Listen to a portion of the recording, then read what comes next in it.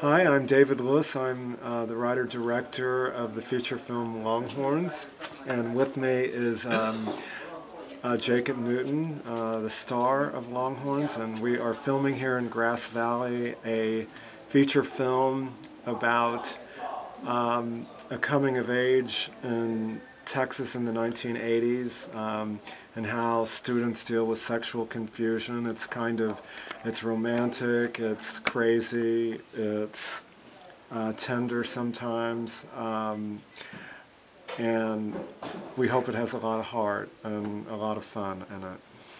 Exactly. I'm doing my best to help with that. Hi, my name's Jacob Newton. I'm playing uh, Kevin, the lead character in the film Longhorns, which David has written and directed splendidly. And um, wait, I'm sorry, we're just waiting on the, on the publicist to get over here. Oh, it's okay. We can go ahead. Okay, thank you.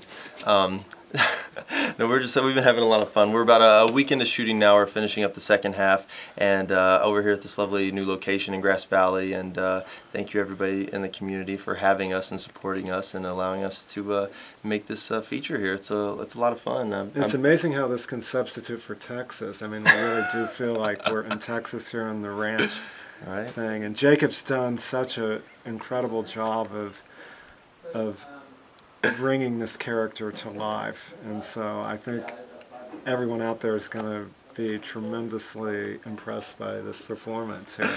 Well, David makes it easy. That's that that's that's you can quote me on that.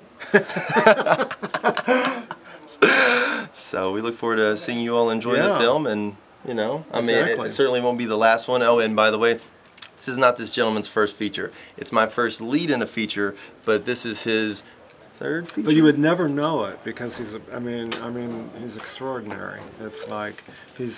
It's taken us very quick time to just develop a shorthand where we. Mhm.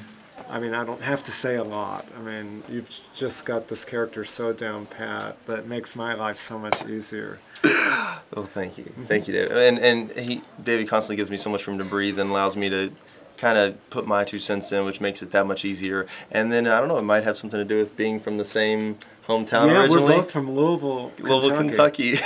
You know, so. so I mean, I, I've I've spent a good portion of my life there. David was smart enough to get going early on. I'm just kidding. I, I enjoyed little but you know, we've uh, been spreading our influence throughout the states for you know, uh, David longer than I, but I look forward to uh, catching up to him someday. So, Absolutely. yeah.